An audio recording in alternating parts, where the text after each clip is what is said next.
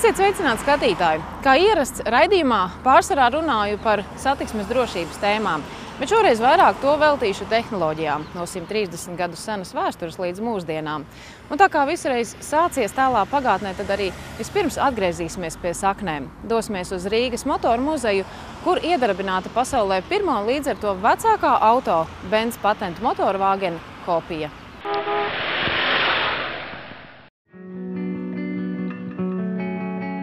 Kad muzeju naktī durvis apmeklētājiem vēra daudzi muzeji Latvijā, tūkstošiem cilvēku devās arī uz Rīgas motoru muzeju, lai apskatītu autobūves šūpuli.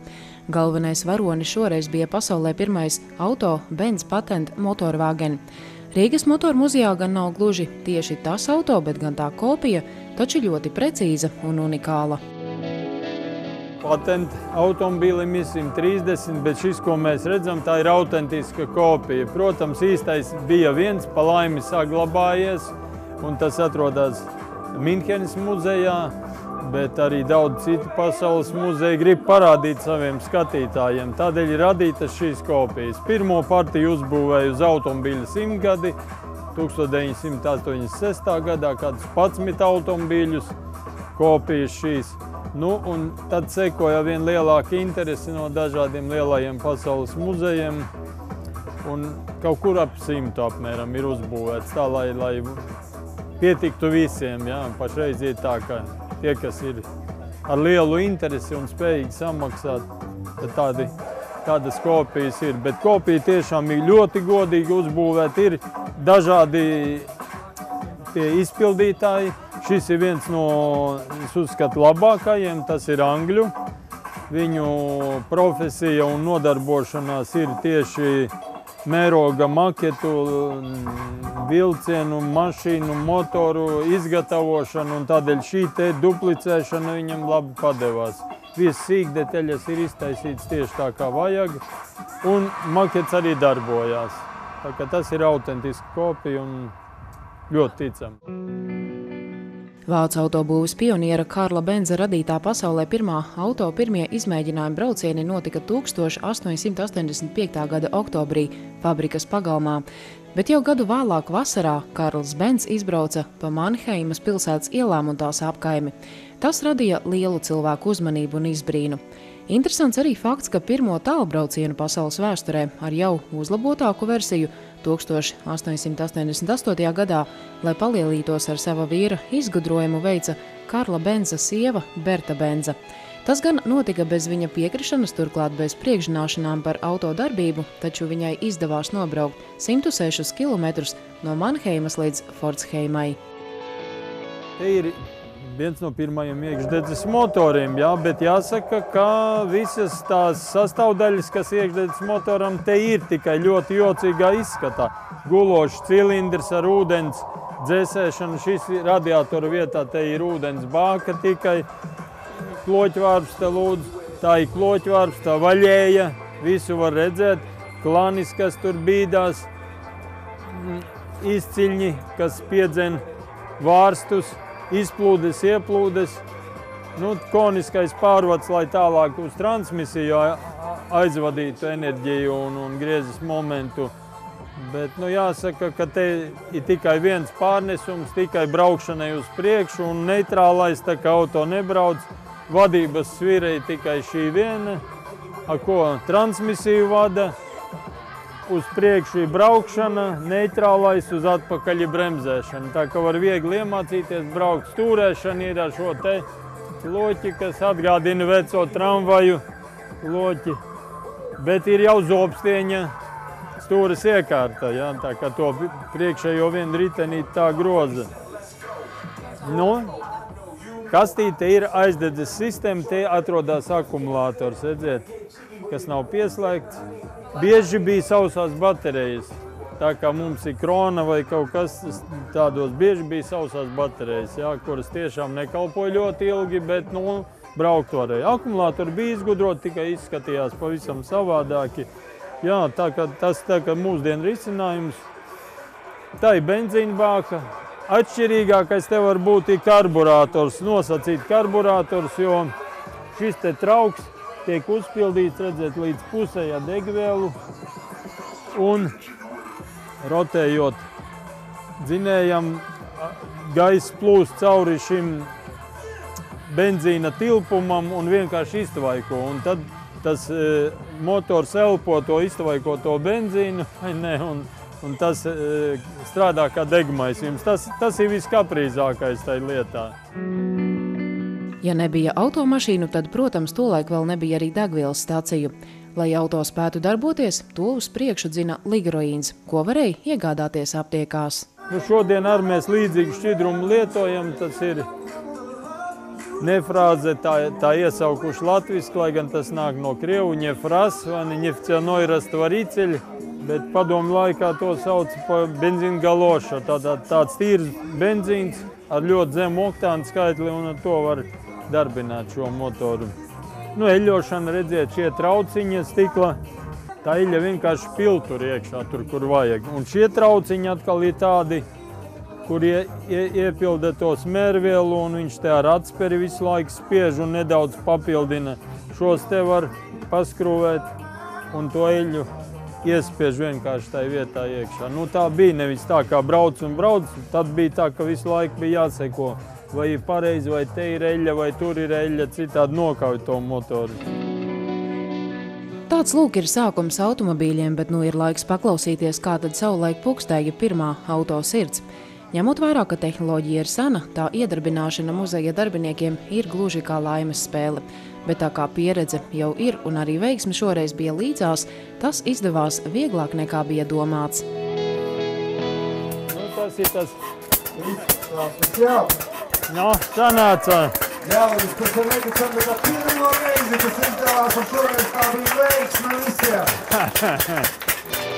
Rīgas motoru muzejs, kas nesen arī saņēmis Eiropas muzeja atzinības certifikātu, kas norāda, ka motoru muzejs ieguvis stabilu vietu Eiropas labāko un inovatīvāko muzeju vidū, protams, lepojas arī ar citiem unikāliem spēkratiem, un muzeju naktī tos aplūkoja kopumā 17,139 apmeklētāji. Ja mēs tā runājam par autošūpuļiem, noteikti, ka tā varētu noteikt, ka viņu ir daudz. Pirmais autošūpulis, Mercedes-Benz patentu vāgens, bet noteikti mēs varam runāt par autošūpuli. Droši vien katrai, katrai automobīļa markai ir savs šūpulis, tāpat var apstīt agrīnos BMW. Tāpat arī viena vien ļoti būtiska automašīna mūsu motoru muzejā, tas ir Krastiņa automobīļa kompānija ražotais automobīls, kas ir vienā eksemplārā vispār pasaulē saglabājies. Un latviešu radīts spēks apskatāms šeit, Latvijā, Rīgas motoru muzejā. Tā ir ļoti unikāla lieta, pie tam viņš ir tehniski ideālā kārtībā, braucošs. Un pāris gadus atpakaļ mūsu komanda ar viņu piedalījās leģendārā Londonas Brightona braucienā un dabūja pirmo vietu. Dzīve muzejā, protams, ne ar to nebeidzās. Un, tas, ir, tas bija liels notikums, kad mēs muzeju atvērām, bet ar to var teikt, tikai viss sākās. Jā, mēs domājam pirmām kārtām par šīs ekspozīcijas turpmāku pilnveidošanu. Tāpat arī mūsu restorācijas darbnīcās top vairāki projekti. Automobīļi, gan tie, kas bija mūsu krājumā, atradās. Un, teiksim, tas viņu tehniskais stāvoklis varbūt vēl nav tik spožs un izcils, lai viņi ieņemtu vietu šeit ekspozīcijā. Tad pie tā tiek strādāts. Jāsaka, ka arī šobrīd Rīgas motoru muzeja īpašumā ir daudz spēku, kas varbūt šeit nav iespējams viņus izlikt. Mums ir uh, filiāli Bauskā, kur var apskatīt braucamā rīku tādu, kas varbūt bija vairāk raksturīgi Latvijas lauku reģioniem, kā arī militārā tehnika. Un mūsu fondos ir diezgan daudz spēku, kas gaida savu kārtu, kad viņi atkal varēs ieraudzīt, nu, kur, kad mēs viņus varēsim rādīt cilvēkiem. Tā kā tas ir tāds darbs, kas aizvien vēl turpinās. Un, um, mēs jau īsti nezinām, kurš no uh, tiem spēkiem, kas šodien ripo pa ielu, kurš kļūs par leģendu un kurš uh, nonāks kādreiz muzejos. Par to aizdomājoties, tik tiešām būtu interesanti zināt un redzēt, kādi tad spēkrati vēl pēc kādiem simts un vairāk gadiem tiks uzskatīti par muzeju ekspozīcijas vērtiem. To gan nepieredzēsim, bet ņemot vērā, ka šobrīd autoražotāji burtiski vai sacenšas ar tehnoloģijām, iespējams tieši tām būs liela loma. Bet iespējams arī nē, jo tāpat kā šobrīd pasaulē, kas vienam šķiet ekskluzīvs, unikāls un atmiņu vērts, citam negluži. Autobusu vēsturē, protams, ka nu, var jau just apmēram tās, tās tendences, kurie auto ir populāri, kuri kļūst par leģendām. kuri varbūt muzejā nonāk tieši tāpēc, ka viņi ir absolūti nepopulāri un nav iemīļoti. Arī tādi gadījumi ir. Tā kā ir spēki, kas jau pamazām, pamazām kļūst un veidojas par leģendām. Auto klāsts varētu būt diezgan plašs, un noteikti katram reģionam ir kaut kādas zināmas arī tīri geogrāfiskas īpatnības. Nu, kaut arī mūsu pašu ekspozīcijā atrodas uh, Vāzes markas automobīls, nu, tautā sauc Žigulīts, kāpēc viņi, kas iespējams, ka varbūt citās valstīs neko ļoti neizsaka, bet mums tas ir gan populārs spēks, diezgan ilgu laiku periodu bijis. Nu, nu, jau pat jāsaka, tāds nu, kļūst par tādu nelielu kulta automobīlu un, zināms, teiksim, kolekcionāru lokus viņus vāc un, un atjauno. Tāpat arī ļoti populāra kļūst 70. un 80. gadu rietumos ražotās mašīnas. Nu, kaut vai tā iemesla, ka tas bija laika periods, kad Padomju Savienībā faktiski tāda spēka nebija pieejama. Un, daudziem tas ir kā tāds nepiepildīts sapnis. Tagad nu, beidzot viņš to savu Porsche vai to pirmo golfu ir dabūjis. Viņš cenšas viņu atjaunot un braukt. Tā kā ir vesela kustība, kas tieši ir nu, pievērsties šā laika perioda automobīļiem. Bet mūsdienās ir diezgan plašs auto klāsts ar dažādām modifikācijām. Grūti spriest, tiešām, kuri tad būs tie, kas varbūt pēc 50 gadiem sāks iegūt kolekcionāru kolekcijās.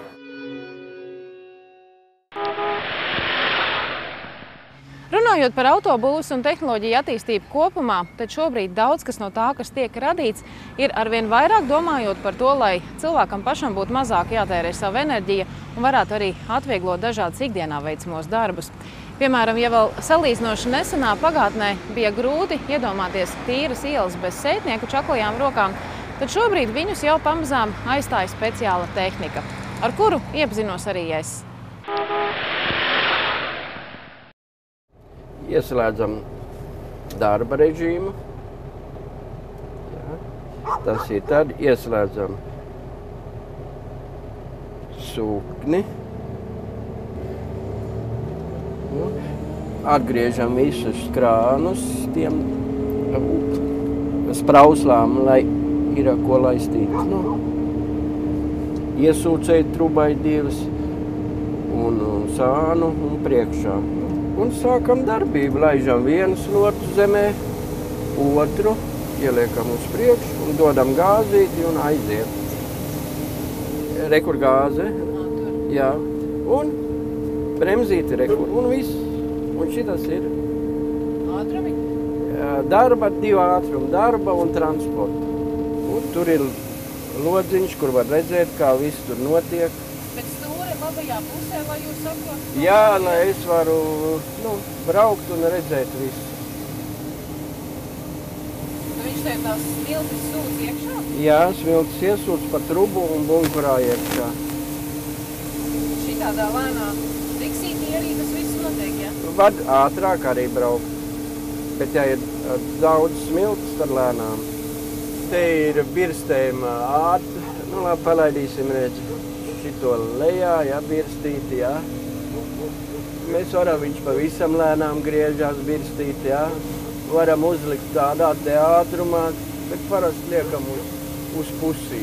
Ja ir lielas smiltis, ieslēdzam vēl otru sūkni. Tad viņš šūts pat bruģi izceļ ārā. Un... Tad ir diezgan jaudīgi. Jā. Bet speciāls kaut kādus šī aparāta tiesības taču nevajag, vai ne? Nevajag. Atliek iemācīties un... Jā, un... Prakse rokā var darbu darīt.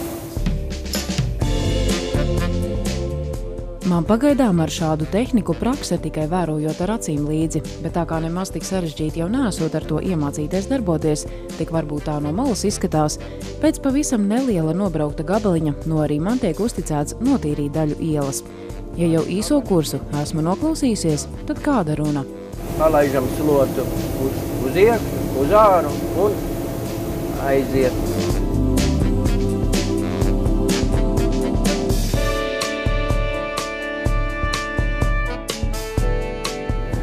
Būs labi. Tagad liekam ātrumā. Man jātur uz bremzi? Nē, ā, ir jau ātrumā. Laižam rokas vaļā. Tagad paņem to. Šito? Jā, uz priekšu.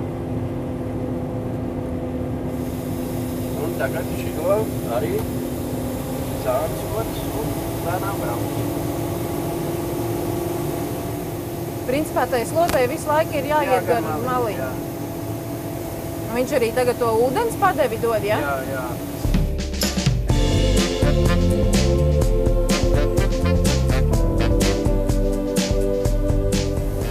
Pamatā izmantojiet to pirmo pirsti.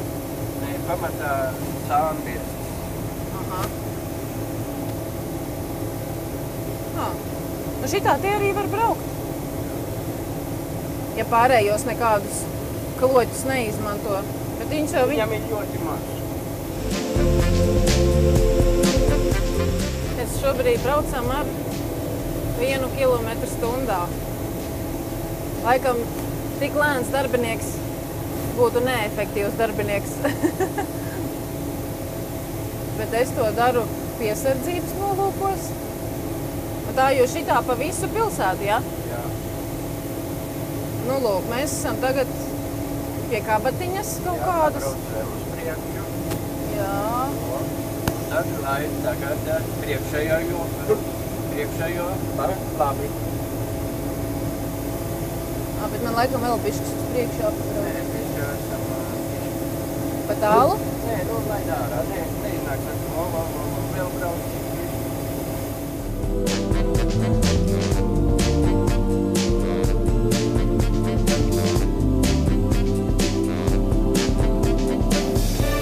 O. Vēl.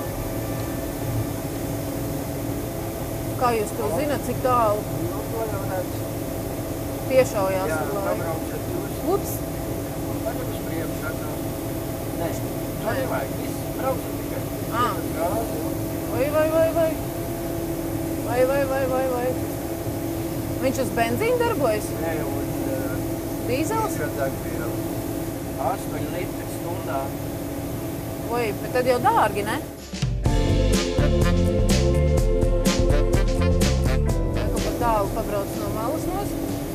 Bet sanāk izdevīgāk nekā, ja cilvēks ar roku slaucītu. Nav iespējams cilvēkiem, man liekas, nosaukt. Būs viena tīra iela pilsētā. Kā var zināt, ka drīkst ātrāk braukt vai lēnāk? Nē, nu to jau jūt. Bet principā jūs paši braucat ātrāk, ja? Kā kurreiz? Tā. Mēs te varam it kā apgriezties, vai ne? Jā, Jo man uz lielās ielas tā kā braukt negribās.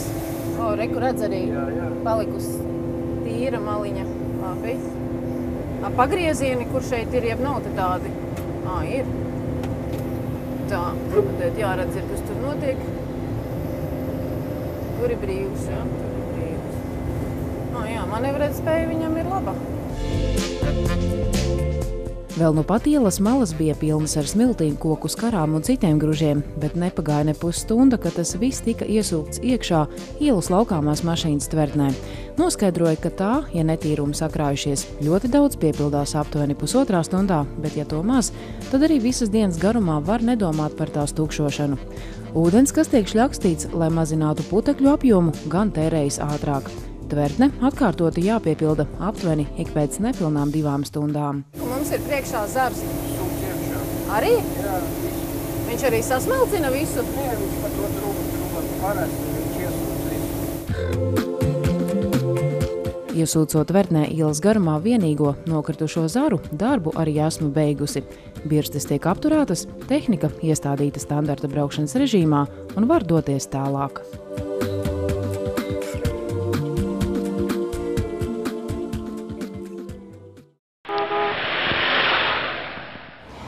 Pēdējos gados daudzās pilsētās arvien vairāk tiek atjaunotas ielas, joprojām gan nepietiekami ir padomāts par drošu pārvietošanos cilvēkiem ar redzes traucējumiem. Ja arī trotvārā ir iestrādāts speciāls klājums, tad tas pārsvarā ir salīdzinoši nesen atjaunotajos objektos. Tātad vietām ir un vietām nav. Un daudz viet arī joprojām luksofori nav aprīkoti ar skaņas signāliem. Tāpēc, turpinot tēmu par tehnoloģijām, raidījuma noslēgumā vēl neliels stāsts par trīs Valmieras tehnikuma jauniešu izgudrojumu. Lai arī tehnoloģijas nav nekas jauns, svarīgi jau ir, kā tās tiek savienotas. Un jaunieši ir radījuši spieķi ar sensoru, lai cilvēki ar redzes traucējumiem uz ielas justos drošāk. Brauc viens no tehniku un puišiem, bet es nezinu, cik man viņš tālu ir. Nu, pīkst. Kā nonācāt līdz tam, ka kaut kas tāds ir jāizgudro? Nu, pat ideja radās no vienas dzīves piemēra, kas ir saistībā ar šo jaunekli. Nu, Ceļš bija gājējis pārējais, bija piegājis neredzīgs cilvēks ar izcēlu balto spieķi un bija piebraukusi Tesla. Un, nu, es sapratu, to, ka viņš netiks galā ar to, jo viņi ir klusa. Viņi pieraduši kā, dzirdēt mašīnas motora skaņu, kad viņi piebrauc. Un es iedomājos, ja viņam būtu kāda saikne starp šo mašīnu un spieķi, kā piemēram sensors, tad viņš nopīkst. Tad viņš būtu divreiz drošāk. Un tā problēma jau nav tikai viņam, viņam vienam pašam. Viņam ir vairāk cilvēku, kāda problēma ir. Visi trīs Valmieras tehnikuma jaunieši šobrīd apgūst mehatronisko sistēmu tehniķa profesiju, un skolotājai, uzzinot par viņu ideju, iedrošinājis to realizēt skolānu mācību uzņēmumā. Tā arī puiši ķērās pie darba. Te galā ir sensors, kas tieši uztver šo attālumu. Iekšā pašā spieķī ir čips ar bateriju un pīkstulīti, kas apstrādā signālu un padod skaņu. Šeit ir slēdzis, ar ko viņu ieslēdz, lai iziet nu, neiztērē bateriju mājās, vienkārši darbojoties. Un pagaidām mums ir vēl podziņa, ar ko tieši palaiž sensoru, kad tu ej pa ielu, lai viņš laikam nepīst kājām.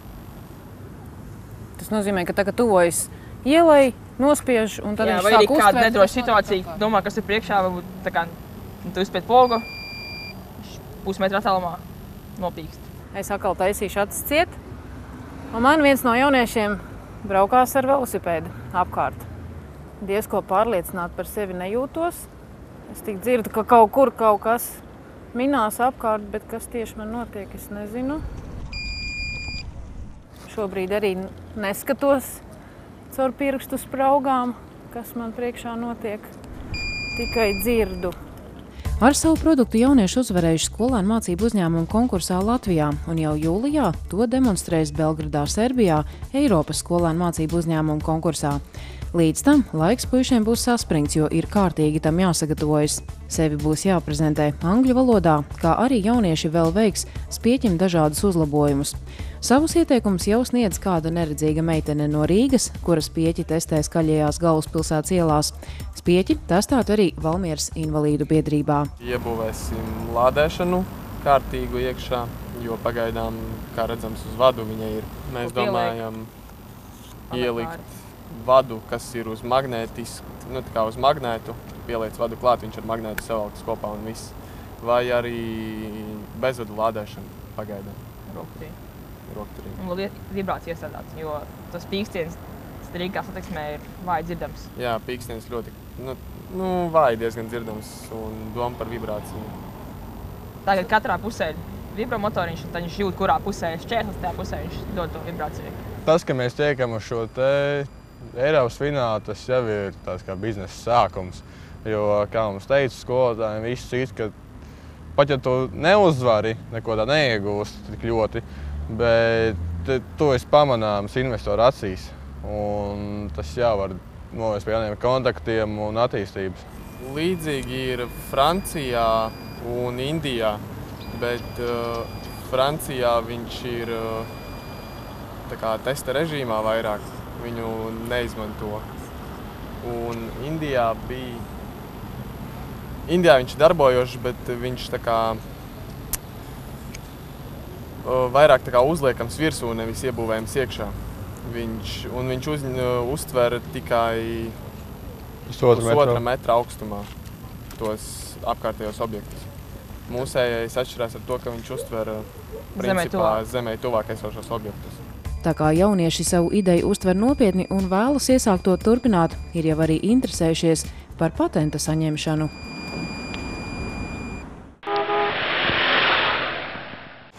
Apņēmīgajiem jauniešiem jānovēl, lai izdodas īstenot savu ieceri, bet par citām aktualitātēm ceļu satiksmes drošības jomā stāstīšu jau atkal nākamajā raidījumā. Visu labu, brauciet prātīgi, lai drošs ceļš!